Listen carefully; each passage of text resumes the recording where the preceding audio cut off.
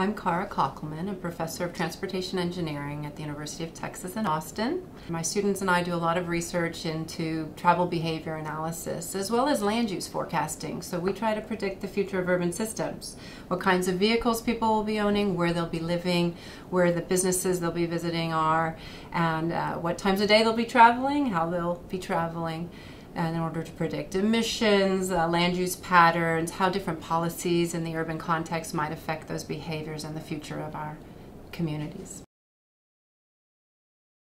Recently, I had the opportunity to visit Stanford University for four days for a TRB sponsored workshop on road vehicle automation.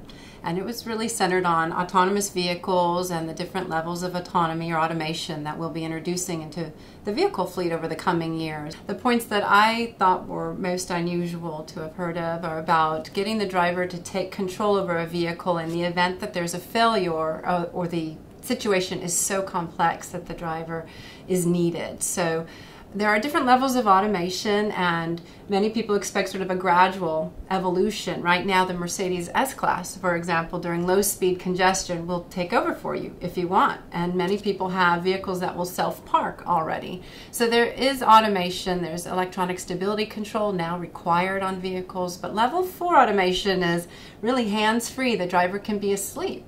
Uh, but what if at level three or potentially level four the driver is needed? How quickly can that driver regain control? So situational awareness is a big concern for a lot of people. How to keep the driver still awake and alert enough to quickly help out in a situation that requires more thought and judgment. Because a lot of times there's only two bad alternatives and somebody needs to make the decision. The other issue is who's at fault. So insurance companies and auto manufacturers are very worried they'll be responsible because the driver had handed over the reins essentially to the vehicle, this product that they had purchased that should be delivering safety.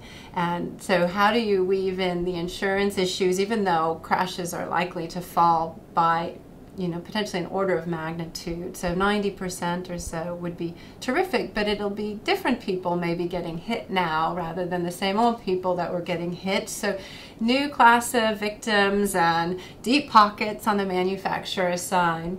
That brings us to a third point, which is how will these vehicles be owned? Right now, once you purchase a product, you have control over it. You don't have to do software updates if you don't want to if something's being recalled right now.